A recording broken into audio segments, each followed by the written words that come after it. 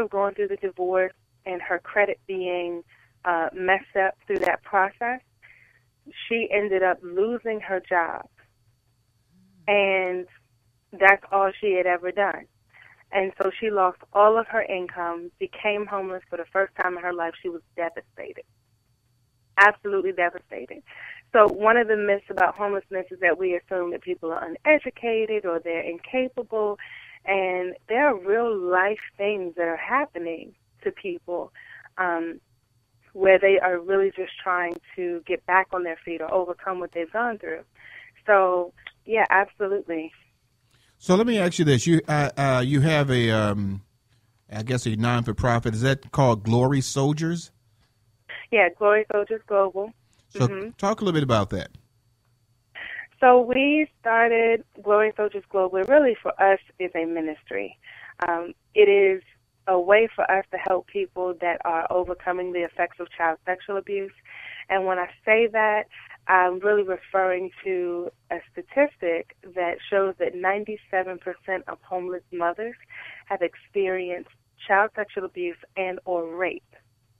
And that is an alarming number of homeless mothers that has this kind of trauma.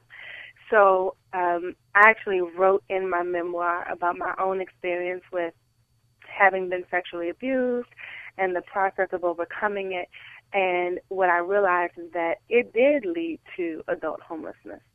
People who have functional, intact, healed, and whole, whole families and relationships are not homeless. Now, that doesn't mean that it's all the homeless person's fault but there are many reasons why, um, you know, if if you were to go homeless tomorrow, you may not be able to go and stay with someone who you think today you would be able to rely on. Yeah. So you know there there are some different things that we offer in terms of housing programs. We um, have a housewarming uh, party social, which is a signature of ours. Uh, and then I do a lot of praying and coaching and we've done marital counseling and you know some stuff you just don't put on the website right? Um, but there's a lot of a lot of support services that we've offered and and many times people will call me even from different states and say i'm homeless. I don't really know how to overcome this for good you know, what do I do? And I get to help them navigate through the system. And, it, and there may be some things that they just did not know they were doing in error. So you're also uh, going to be going on a tour soon, correct? Yeah, I've, it started. oh, it started. So what? Did, when did it start?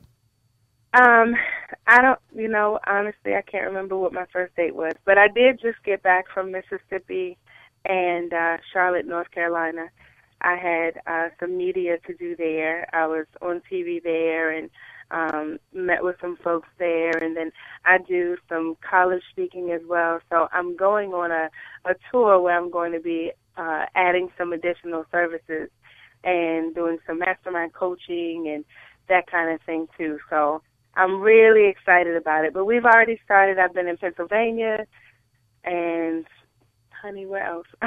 Mississippi, Charlotte, and a couple other places that are escaping me. And one of your stops is going to be the Chicago location, correct? We would love to come to Chicago. I'm waiting to get booked. I'm actually praying to get booked at a, a church there. Um, so,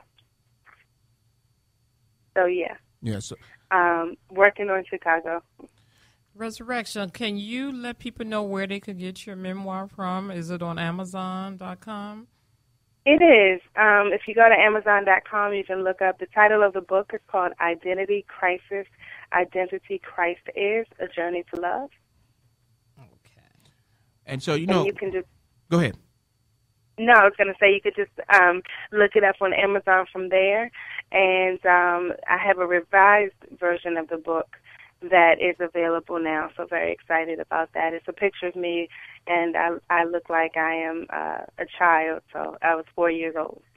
And you look the same way, by exactly the same way. So, so I want to I want to ask, I want to ask you this question now. You had said that you know you would you never would be happy about being in a shelter, but the Lord blessed you so much from that shelter experience Uh, can you talk a little bit about how sometimes you can be in a negative environment and still receive the blessing from the Lord? I know, you know, David, you know, there's a lot of people. Joseph didn't want to be in this situation as well, but Job. you know, you know, we, we get into situations mm-hmm. that God allows us to be in and then he strengthens us through it. So talk about how you were strengthened through that situation. You know, that is a really good point, thinking about Joseph and, and Job too. Uh, for me, it was really just, and, and I know I sound redundant, hearing from God. That was a huge lesson for me, though, because, you know, we go to church, we sit in the pew, we write down what the pastor says, and uh, if we do that. And then many times, you know, we don't hear from God for ourselves right? So when you get into these challenging situations, if you if you don't have relationships and you're depending on everybody else to have an answer for you, it makes it very difficult for you to have that one-on-one with God. And so for me, what actually was going on is that I did have a relationship with God, but people were inserting their opinion on how I should live, you know, where I should be, what should happen and so on and so forth. And I really just needed to hear from God. And when I was able to learn that lesson, it wasn't confusing. In other words, I would hear from God, and then so and so would say this, and so and so would say that, and it would be a collective of voices. And God is God all by Himself. Amen. He doesn't need, you know, cheerleaders and people to, you know, validate what He's saying, right?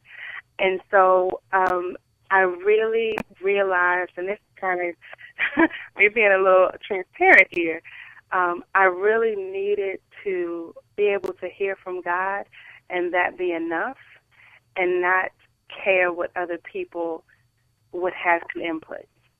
Yeah, and it is, it is, it is great because, you know, a lot of people will make comments about things, but all you have to do is listen to the voice of God and He will direct your mm-hmm. path. And so, in that situation where some people were talking to you, I'm sure that may have been some people that you knew or that you had some respect for. How was it? Was it difficult for you in some cases, uh, going through the situation and trying to decipher what voice to listen to, or was always a point in your life that you just knew that it was just God's voice and His alone? Yeah, I think that's a great question. So let let me kind of dig deeper and clarify here. I could hear the voice of God, but what was affecting me was the negative comments and the negative things that were being said. So, as an example, there were church people that were saying, so kind of dismissing the fact that I was homeless, saying, so, well, so and so is homeless. I mean, and they're okay.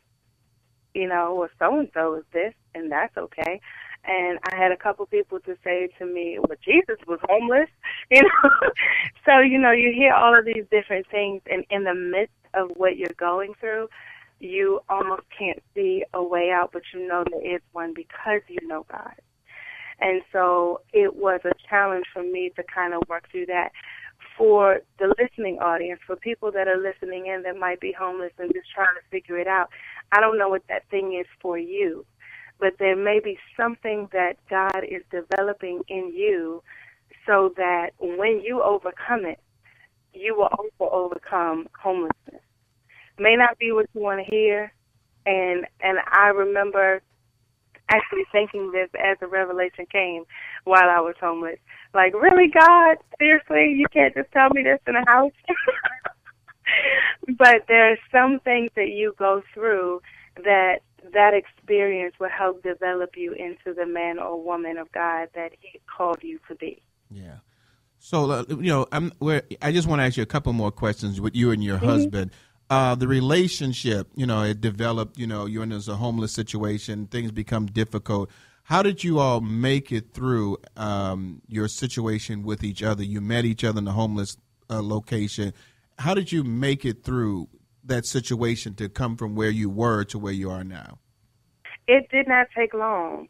So I can't remember what you asked a few minutes ago, but um, it, I was going to say that that it didn't take long for us to, after we met, leave the homeless shelter. It was, and and I believe this that we're on assignment. So I didn't go there because I was supposed to go through this long, drawn out, you know, continued long suffering. I was there because I was supposed to meet him. And then when that happened, it activated something. And we just were able to be delivered out of that situation. Now, he had resources. I had resources. We were able to put those resources together. Um, and that helped us. You know, I had some strengths. He had some strengths. We worked together so that we could apply them to both of our situations. And, and that really helped us about five months into dating, you know, I said to him, okay, what are we doing? And um, he actually got an offer, an opportunity, and they said in order for him to accept it, he needed to be married. And so we had we had actually already talked about marriage. We knew that we were the one for each other um, shortly before that, but we had planned the wedding out, you know, uh, there was some time between when we were going to get married. And long story short, um, he was sort of given this opportunity, and he came to me and he said, "I don't want to live without you." Amen. Like we have we have two weeks. yeah. so, and that completely called my bluff. Because you know I kept saying, "I want to be married. I want to be with the one you want me with, Jesus." And then, you know, he said, okay, cool, we have two weeks. And, and you know, I felt no red flag. Not Yeah. one. And, And I said, this, this is the one. and God can give an answer in two weeks. That's for sure. You sure. know, well, she she making a lot of women kind of jealous though. They they've been dating men for ten years and they ain't even proposed to 'em. So you got two weeks. We're gonna do this thing. Hey, what God oh, has Oh, for no, you no, we- is for you. so let me ask you, We, how, we, how long we, you we been? dated, let me clarify. We, we dated like five, five months. and and then during that time, so before it got to six months is when he came and he said, "Okay, we got two weeks." so how long you've been married? Um, it's been a couple years now. We're Mm-hmm. coming up on the anniversary soon. Um, oh, he's give pointing fingers. Three years. Okay. so let me. I, I want to take. I want to take you back just a little bit because I know you was telling me you, you, you had your daughter and she you know she's older now. Can you talk Yeah. to a little bit about to young ladies who are in shelters, you know, with their children?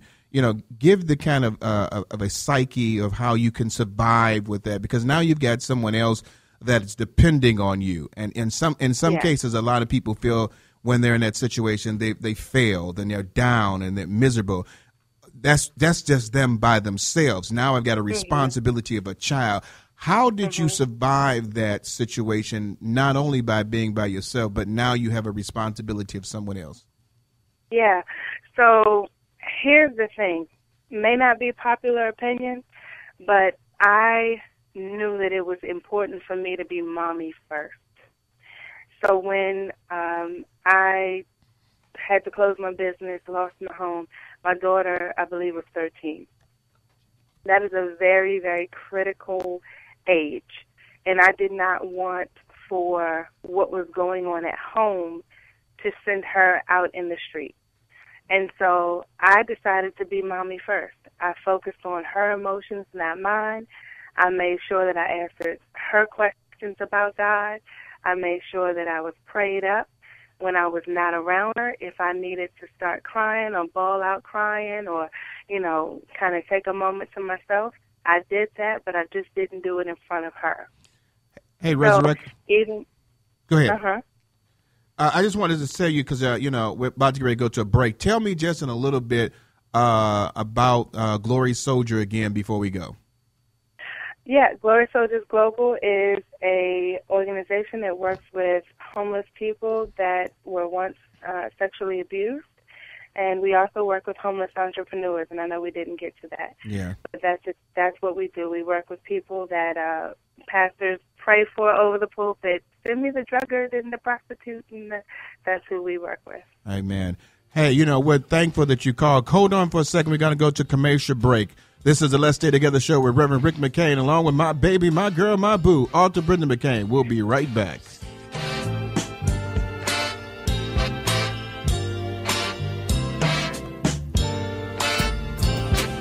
This is Brenda McCain from the Let's Stay Together talk show. Here's this week announcement.